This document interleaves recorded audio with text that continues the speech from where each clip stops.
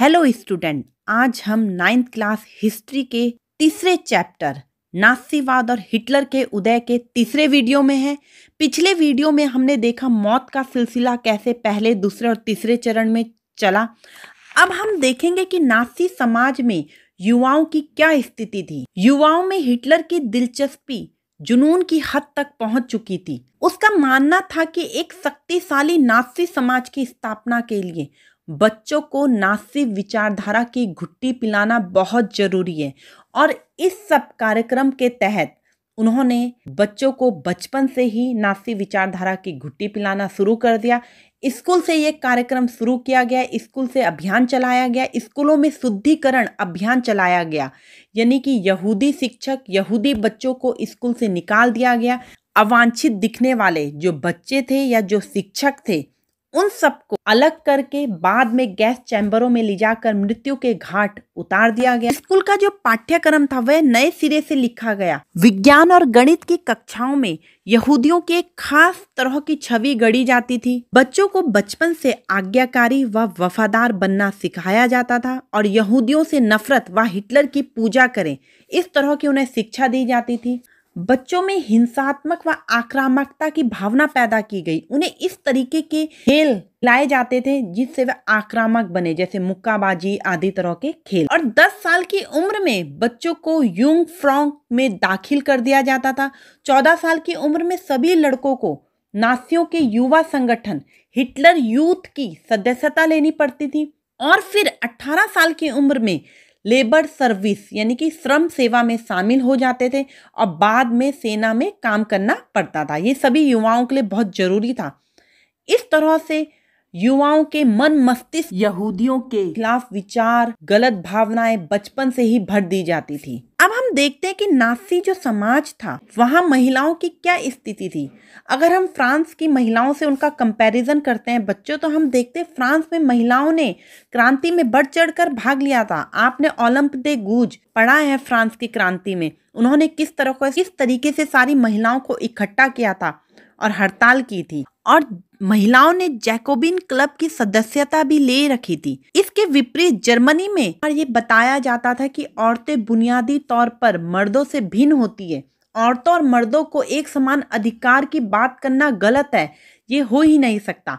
लड़कों को आक्रामक, मर्दाना और पत्थर दिल होना सिखाया जाता था, जबकि लड़कियों को अच्छी माँ, शुद्ध आर्य रक्त वाले बच्चों को जन्म देना, यहूदियों से दूर रहना घर संभालना और बच्चों को बचपन से ही नासी मूल्य मान्यताओं की शिक्षा देने का दायित्व दिया जाता था। कहा जाता था, ये काम महिलाओं का है। हिटलर ने कहा था, मेरे राज्य की सबसे महत्वपूर्ण नागरिक माँ है। लेकिन हम देखते हैं, नासी जर्मनी में सभी माताओं के साथ एक जैसा व्यवहार नहीं किया जाता था। जो महिलाएँ अवांछित बच्चों को जन्म देती थी उनको दंडित किया जाता था, जबकि नासी तौर पर वांछित दिखने वाले बच्चों को, यानी कि शुद्ध आर्य रक्त वाले जर्मनी बच्चों को जन्म देने वाली माताओं को इनाम दिया जाता था। उन्हें अस्पताल में, दुकानों में, सामानों पर कई तरह की छूट दी जाती थी। और जो माताएँ ज़्यादा बच्चों को जन्म देती थी, उन्हें सिपाहियों के समान तमगे मेडल दिए जाते थे, जैसे चार बच्चे पैदा करने वाली माँ को कांसे का तमगा।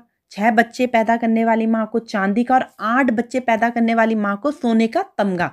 इस तरह से उन्हें प्रोत्साहित किया जाता था कि शुद्ध आर्य रक्त वाले जर्मनी बच्चे को पैदा करें।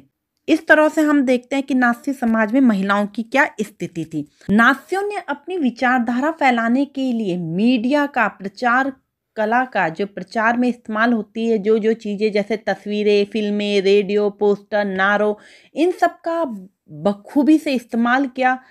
इसके ज़रिए उन्होंने नास्ती विचारधारा को बहुत अच्छे से पूरे जर्मनी में या पूरे विश्व में फैलाया और इस प्रचार कला के द्वारा यहूदियों के प्रति नफरत फैलाई गई।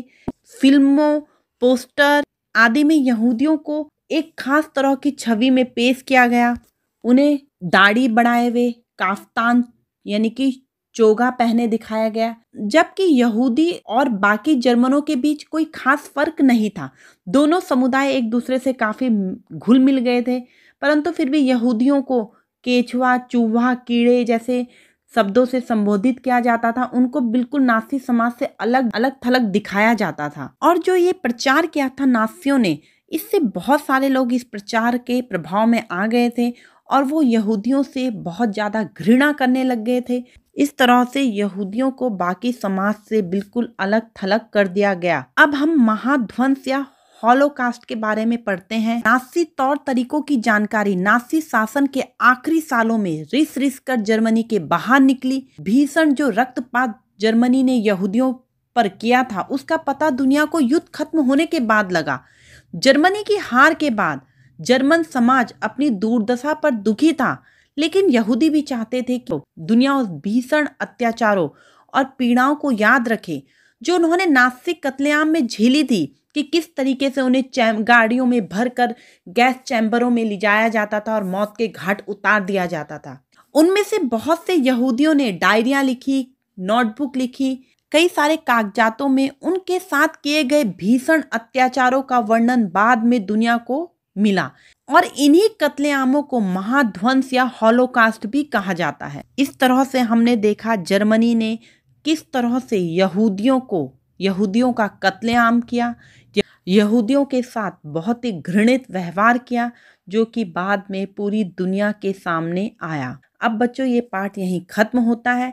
इस वीडियो में हमने देखा नासी समाज में युवाओं की स्थिति, नासी समाज में महिलाओं की स्थिति क्या थी और महाध्वंस हॉलो कास्ट। अब ये पार्ट खत्म हो चुका है और आगे हम जल्द ही नए वीडियो के साथ मिलेंगे और इस पार्ट के इंपॉर्टेंट क्वेश्चन आंसर के पीडीएफ में आपको शेयर करूँगी।